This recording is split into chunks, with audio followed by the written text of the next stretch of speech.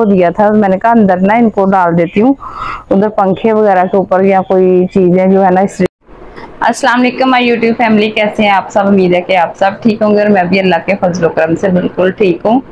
तो रात का टाइम है, मैंने कहा चलें आज आप लोगों के साथ अपनी रात की रूटीन शेयर करते हैं। तो चार पहिया वगैरह हम लोग ने इधर बिछाई हुई हैं, बाहर बारिशें हो रही हैं तो इस वजह से बाहर नहीं सो रहे।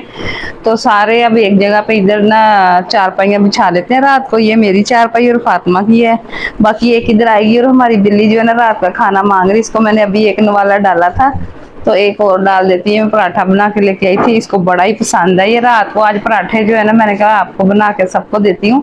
तो ये लो, मानो ले लो। एक इसने खा लिया ना वाला और बाकी मैं अभी जा रही हूँ किचन में।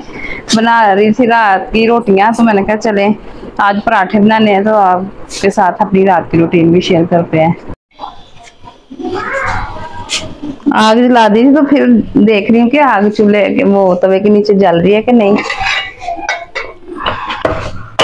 आज मैंने बच्चों से कहा कि आप लोगों को पराठे और मसल जो है ना बनाए हुए उनके साथ पराठे बना के देती हूँ। तो ये जो वाइट आटा है ना, ये बड़ा ही हाथों को जोड़ रहा है। इसके ना, ये गूंदने का बड़ा मसला है इसको। वैसे दूसरा गंदम वाला तो एक मिनट में मैं गूंद लेती हूँ तो ये तो हाथों से ही नहीं उतरता। लेकिन ये है कि इसके पराठे जो है ना, वो मज़े के बनते हैं। इसी वजह से आज रात को ये हमारे पराठे बन रहे हैं। इन सारे पेड़े कर लेती हूँ ना, बाद में आहिस्ता आहिस्ता से बनाती रहूँगी।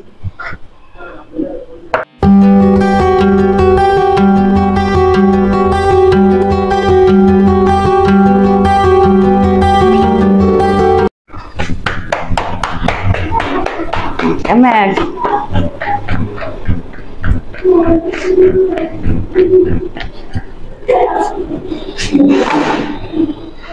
चले जी, ये ऊपर डाल दिए तो ये दो और बनाने खाना मैंने सबको दे दिया तो सालन मेरे लिए ये बचा था, मैंने कहा मैं ऊपर ही डाल लेती हूँ रोटी के। तो ये है कि सबने खा लिया तो अब मेरी एंड पे बारी है। तो बस ये सालन मैं इतना ही खाऊँगी। तो ये चावल मैंने दोपहर में बनाए थे, ये मैंने कहा इसमें निकाल देती हूँ देगची में। चावल चल जाएँगे। दोपहर में मैंने बनाए थे मसर चावल। तो फिर बच्चे एक टाइम ही खाते हैं बार बार नहीं खाते। और मैं भी एक टाइम ही खाती हूँ। अब ये मेरी बेटी है ना, दरमियान वाली, वो आएगी ना कल स्कूल से उसने फिर खाने ये। तो ये चले ये निकाल के तो बाकी ये है कि खाना खा लूँ। तो दूध वाला जो है ना, उसने आना है। बस एक दूध गर्म करना और चाय बनानी बाकी सारा किचन मैंने समेट दिया, बर्तन वगैरह वॉश कर दिए हर चीज़ जो है ना ओके कर दी है। तो फिर बाद में सेन में जाके ना, थोड़ी देर रेस्ट करूँगी। मैं अंदर भी सोते ना, मैं दस ग्यारह बजे तक सेन में ही रहती हूँ। दूध वाला आ गया था तो मैंने दूध ऊपर रख दिया। बॉयल होने के लिए और साथ साथ में धो रही हूँ बर्तन। ये जो खाना खा के अपना सारे खाली कर दिए थे बर्तन मैंने तो वो देगचियाँ वगैरह भी धोई है मैंने कहा, सुबह फिर ना नाश्ता बनाना होता है। तो फिर सुबह नहीं, मेरे से धोए जाते। मैं रात को सारे बर्तन किचन साफ़ सुथरा करके सोती हूँ, ताकि सुबह बच्चों ने स्कूल जाना होता है तो नाश्ता जल्दी से बना लूँ। तो अब बनानी है चाय। ये फातिमा का फीडर भी धोया है, इसको दूध देना है, वो सो गई है।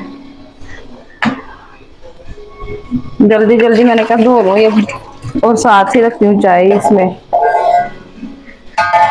ये एक नाली मैंने पानी डाल के रखा हुआ है, इसमें मैं रखूँगी दूध को, फिर जल्दी ठंडा होता है, फिर मैं ना फ्रिज में रख देती हूँ। जल्दी बिल्लियाँ हमारे घर में बहुत हैं तो उनको तो बस खुशबू आती है, दूध और गोश्त की, वो तो ऐसे करती है ना कि मुँह डाल दें। ये मैं रखूँगी इसको अपने पास, जब ठंडा होगा तो फिर रखूँगी फ्रिज में। कप यहाँ पे मैंने सारे रख दिए हैं एक अपना और एक अपने हस्बैंड का, बाकी बच्चे वगैरह तो सुबह चाय पीते हैं, वो नहीं पीते इस टाइम और फातिमा को जब दूध ठंडा होगा, फिर दूँगी। ये बॉयल आने शुरू हो गए दूध को। तो इसमें ना, मैं डालती हूँ चाय के लिए। ये मच्छर तो नहीं चले गए अंदर।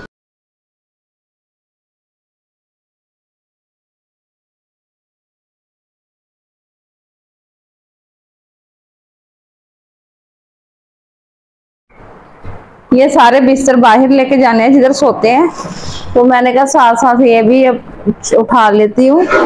फातिमा तो हमारी सो गई। पहले मैंने आपको बताया टाइम अभी आठ बजे में दस मिनट है तो इस टाइम ना सर्दी हो गई है बारिशों की वजह से। तो हम लोग जल्दी नौ बजे बच्चे कहते, इतनी जल्दी आप हम लोगों को सुना देते हो, क्या मसला है? मैंने कहा, आप स्कूल जाना तो सुबह फिर उठते नहीं है। चाय भी मैं ले आई थी, मैंने कहा मैं इनके पापा को आवाज़ देती हूँ आकर चाय भी पी लें। और ये चार पाई जो हमारी हमेशा इधर और इधर रहती है, बाहर ही नहीं जाती। इसको ना फिर अंदर ही इधर साइड पे कर देती हूँ रात को, कि यहाँ से वॉशरूम वगैरह जाना होता है, गुजरना होता है तो फिर मुश्किल होती है। तो ये सामान सारा जो बाहर लेके जाना मैंने इकट्ठा कर लिया है। तो जिस जिसको सर्दी लगेगी ना, वो पंखे के बगैर आके कमरे में फिर लेट जाता है। पंखा नहीं चलाता तो कोई बेड पे, कोई इस बेड पे और मैं चार पाई छोटी पे आ गए मुझे कसी कसी जो चार पाई है, मैंने नई, दो चार पहियाँ न्यू बनवाई है। अभी मेरे पीड़े है ना, वो आंटी बना रही है दो। वो मैंने उनको कुर्सियों वाला बाँध लेके दिया, जो येलो येलो पहले कुर्सियाँ नहीं होती थी, वो वाला लेके देके उनको पेंट वगैरह करके पीड़े दिए ये उन्होंने दो हमारी चार पहियाँ ये पट्टी के साथ बनाई और इतनी सख्त है ना इस बैठने का बड़ा मज़ा आता है। तो ये पैंट वगैरह मैंने डलवाई नहीं थी।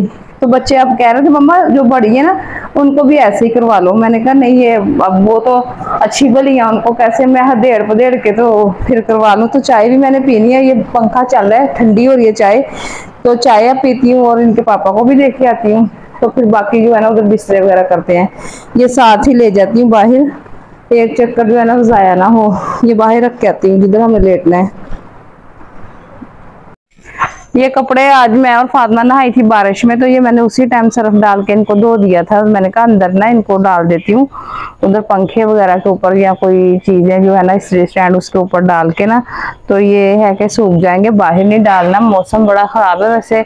बादल बहुत ज़्यादा आए हुए अंधेरे में तो अब नज़र नहीं आ रहे। जब लाइट ऑफ़ होगी ना हमारे की तो फिर बड़ा ही वाजिया नज़र आता है। सामने वालों की लाइटें चलती रहती हैं और हम लोग जो है ना अपनी लाइटें सारी ऑफ़ कर देते हैं।